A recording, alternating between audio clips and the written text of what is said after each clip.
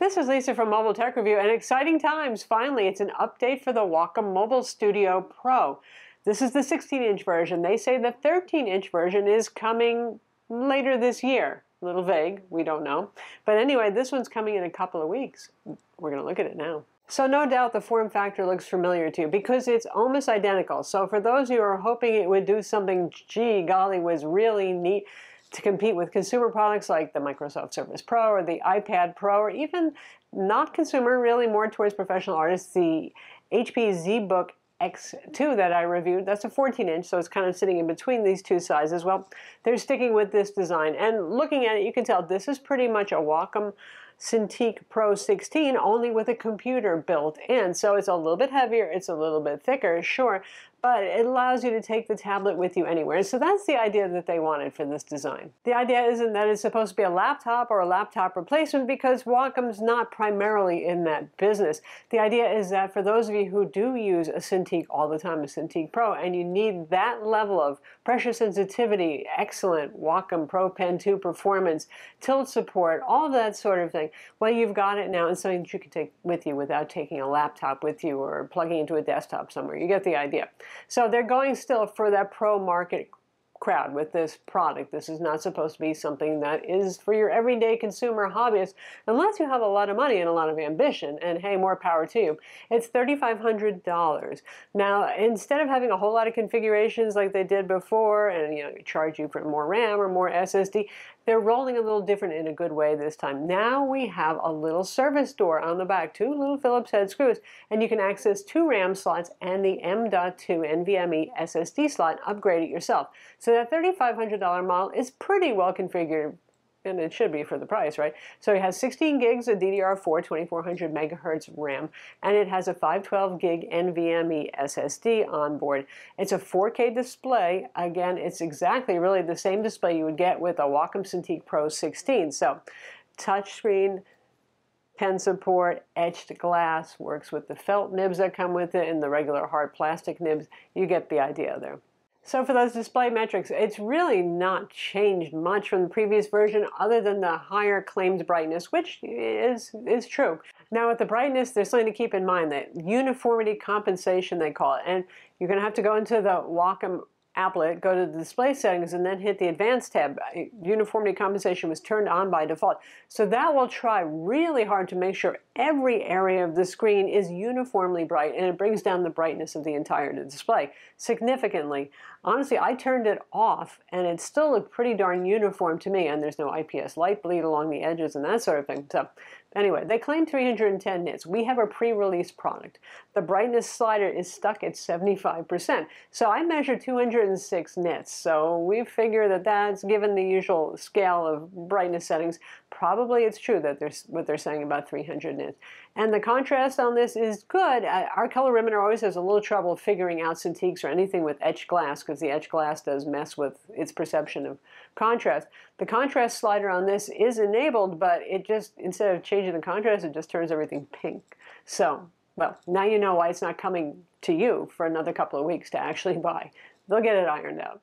The color gamut on this is high and unchanged from the last generation. They claimed 85% of Adobe RGB. We measured 84% of Adobe RGB. Yes, it would nice to be nice to see 100%, but they tell us that in the form factor they're using this display in with the brightness uniformity compensation and all that sort of thing to try to give you a pro level calibrated experience that 85% is about all you're going to get with this.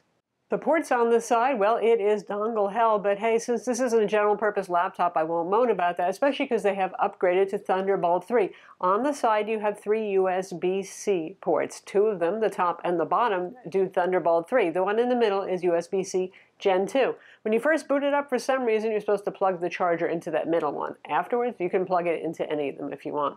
And yes, it works with the Wacom link that you can plug into a Mac or a Windows PC if you do want to turn it into a Cintiq because you have such a wonderful, powerful desktop at work or at home or whatever. You get the idea. Now the internals are upgraded in terms of processor and graphics too, thank goodness, because the old Wacom Mobile Studio was Pro was getting, you know, long in the tooth.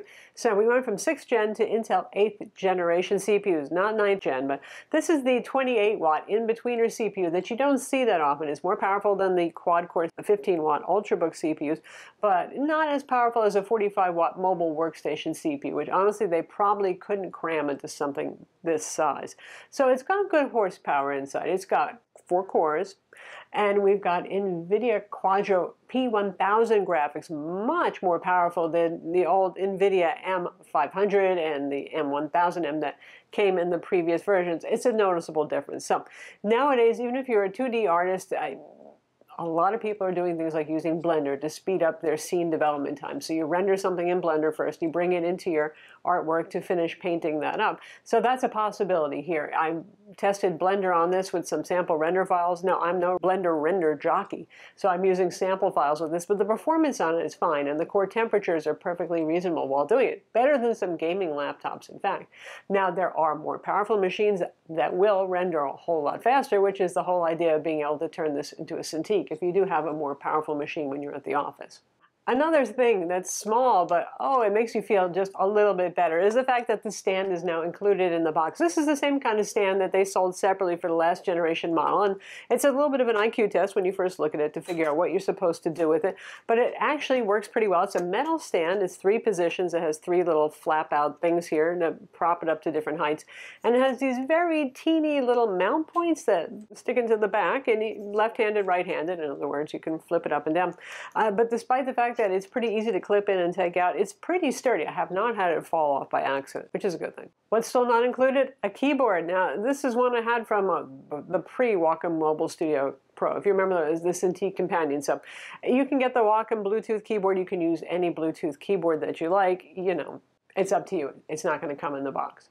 Of course, you do get the Pro Pen 2. You get a nice little case for a little bit of stand action and a couple of nibs, like I said, both the felt nib and the hard plastic nib. So yes, obviously it's compatible with the felt nib. I know there's often some confusion there about whether it's safe to use that or not with the etch glass display it certainly must be safe because they're including them in the box. And I always do use the felt nibs because they're a little less slippery, which is one of the nice things about Wacom products is that you've got so much grip on the screen. You don't have that my pencil is skating everywhere kind of thing. Now, I love to draw on the iPad Pro, but that pencil does skate. Likewise, if you're using one of the laptops that has Wacom AES or N-Trig technology, like what Microsoft uses for the Surface Pro, those are active capacitive technologies, by the way. But those are glossy screens with slippery hard plastic pens. Uh, the granular control a little bit less when you got that going on. Also, the palm rejection on this is superb. If I wear a glove, it's mostly just to not smear on the screen. It's head and shoulders above what N-Trig and Wacom AES do, in part because those are active capacitive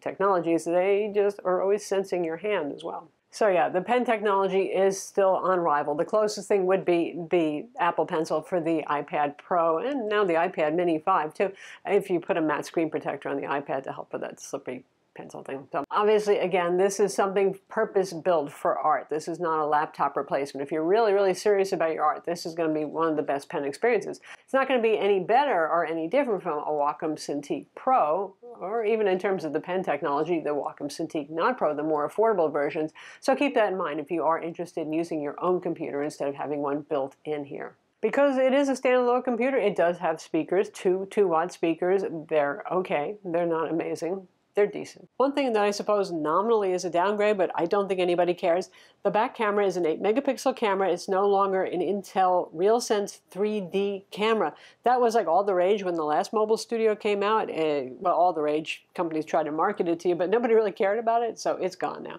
And you have a 5 megapixel front camera. Doubtless the rear camera could actually be useful if you're taking this to paint uh, plein air and you want to take a photo of the scene to bring back with you. When it comes to heat and noise, I know that's always a, of interest here when it comes to more so the old Cintiq companions, but now with the Mobile Studio Pros, they're improving it. The heat on this is not that bad. It does depend on what you're doing, but honestly, it seemed to me that Photoshop with many layers on a drawing could toast it up about as much as Blender could doing a moderate render, not a super duper complicated kind of scene there.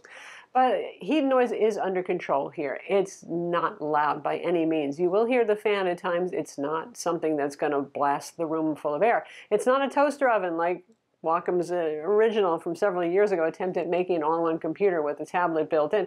It's pretty manageable. The back can get pretty toasty. You can get a sweaty hand on it, but probably most of the time you're going to be using it with a stand. You might use it in your lap. It's a little bit heavy, obviously. It's, a Cintiq Pro is a lot easier to use in your lap than something like this is, but it is doable. Anyway, thermals, they're under control. Core temperatures, they're fine on this. Performance, it's pretty much like what you would see with the Lenovo ThinkPad P series. They're ultra thin workstation models, the ones that have Ultrabook CPUs inside only. This one has a better CPU and the, something like the Quadro P1000 graphics. Likewise, Dell does the same thing with their Precision series. They'll have the super thin mobile workstations and you're getting about the same performance here, which is not bad. When it comes to graphics performance for the P1000, if you're not familiar with NVIDIA's workstation graphics, it's fairly similar to an NVIDIA GTX 1050 GeForce card in the consumer and gaming laptop space. So certainly enough to accelerate the work that you're doing, and the, the Quadro drivers are optimized for professional work with Adobe products and CAD products and all that sort of thing. But I, you're not going to be playing, you know, Far Cry 5 or something like that in high settings on this. It's just not what it's for. Battery life has never really been good with the Wacom Mobile Studio Pro products. We have a 70 watt hour battery, which is decent capacity given the size and the form factor, but not wow. It's okay.